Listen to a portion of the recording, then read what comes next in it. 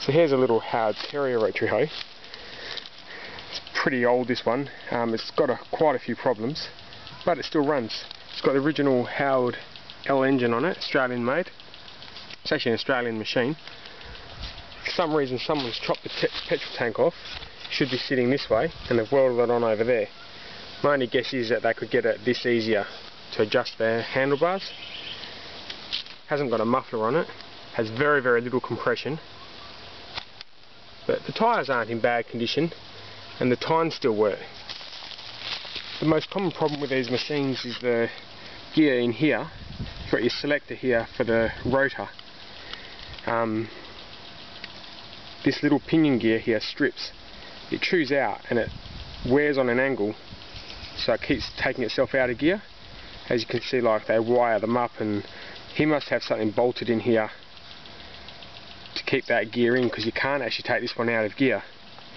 When it wears, it normally chews the second gear as well, and it's about 200 and 300 dollars for the gears here. So that's why most of these machines, when those gears go, the machine is just left.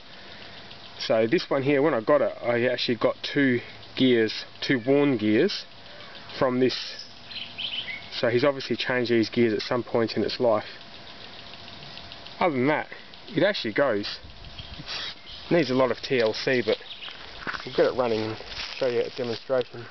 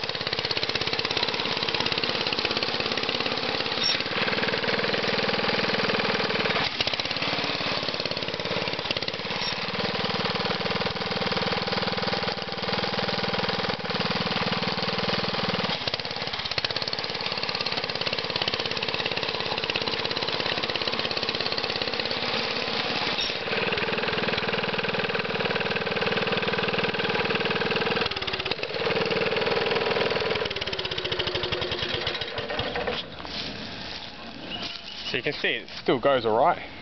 Plenty of power even though the engine is tired.